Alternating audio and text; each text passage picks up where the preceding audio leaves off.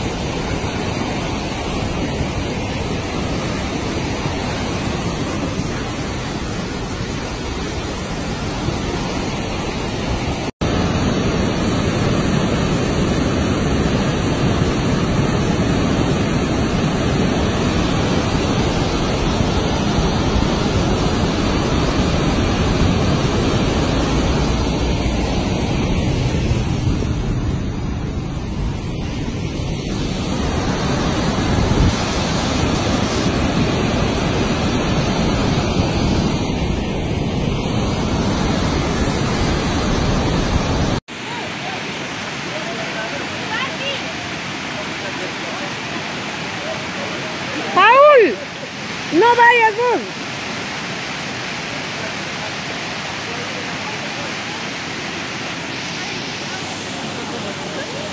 Todo.